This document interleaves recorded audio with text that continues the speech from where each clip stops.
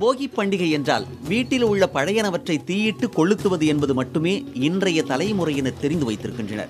உண்மையில் போகி பண்டிகை கொண்டாடுவதன் முக்கிய நோக்கம் தூய்மையே. பருவநிலை மாற்றங்களின் அடிப்படையில் ஒரு வருடத்தை தமிழன் இரண்டாக பிரித்தான். ஆடி மாதம் முதல் மார்கழி மாதம் வரை தென்கிழக்கு பகுதியில் சூரியன் உதிக்கிறது. அதன் பிறகு வடகிழக்கு பகுதியில் சூரியன் உதிக்கத் தொடங்குகிறது. இதனால் ஏற்படும் பருவநிலை மாற்றங்களால் நோய் பாதிப்புகள் ஏற்படாமல் இருக்கவே தூய்மையை கொண்டாடும் நாளாக போகி பண்டிகை கடைபிடிக்கப்படுகிறது. ஆனால் இன்று போகி பண்டிகை என்றால் வெறுமனே ஏதோ ஒன்றை கொளுத்த வேண்டும் என மக்கள் கருதுவதாக கூறுகிறார் பாரம்பரிய சித்த மருத்துவர் தங்கதுரை.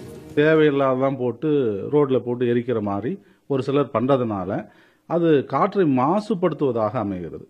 இந்த இந்த வழக்கம் எப்படி வந்தது அப்படின்னு பார்த்தீங்கன்னா நாம் வாழக்கூடிய பகுதி குடியிருக்கக்கூடிய வீடு தூய்மையாக இருக்கணும். அதே நேரத்தில் வீட்டையும் சுற்றுப்புறத்தையும் தூய்மை செஞ்சுட்டா மட்டும் போதாது. இந்த அகம்னு சொல்லக்கூடிய உடலையும் தூய்மைப்படுத்தணும். தங்கள் இருப்பிடங்களை சுத்தம் செய்வது மட்டுமல்லாது தங்கள் அகத்தையும் சுத்தம் செய்ய மக்கள் அறிந்திருக்க வேண்டும் என்பதற்காகவே போகி பண்டிகையின் போது வீட்டில் காப்பு கட்டப்படுகிறது. கிருமி நாசினியாக இருக்கக்கூடிய வேப்பிலை இரத்தத்தை சுத்தப்படுத்தக்கூடிய ஆவாரை சிறுநீரகத்தை சுத்தப்படுத்தக்கூடிய பூவாரப்பூ என்ற சிறு பீளை இந்த மூன்றையும் சேர்த்து வீட்டு முற்றத்தில் கட்டுவதே காப்பு கட்டுவது. அகத்தை சுத்தப்படுத்தும் இந்த மூலிகைகளின் நற்குணங்களை மக்கள் அறிந்து கொள்ளவே அதை வீட்டின் முற்றத்தில் கட்ட அறிவுறுத்தப்பட்டிருப்பதாக சித்த மருத்துவர்கள் தெரிவிக்கின்றனர்.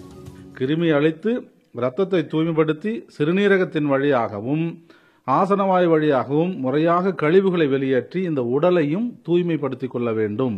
ஏனென்றால் ஆரோக்கியம் ஆயுள் ஒவ்வொருவருக்கும் அவசியம். அடுத்து வரக்கூடிய பருவநிலைக்கு நீங்கள் தயாராக இருக்கணும் அப்படின்னு பல ஆயிரம் வருடங்களுக்கு முன்னாடி ஏற்பட்ட ஒரு கலாச்சாரம் இது. சரி இந்த மூலிகைகள்லாம் அடையாளம் தெரியாது இல்லையா? எங்கிருந்து எப்படி கொண்டு வருது? அதுக்காக என்ன பண்ணாங்கன்னா இதுதான் மூலிகை அப்படின்னு சொல்லி கண்ணுக்கு தெரிகிற மாதிரி முற்றத்திலே சொருகி வச்சாங்க. இதை பார்த்து எல்லாரும் தெரிஞ்சுக்கணும். ஆனால் இப்போ எல்லாரும் சொருகி வைக்கிறமே ஒழிய யாரும் அதை பயன்படுத்துறது இல்லை.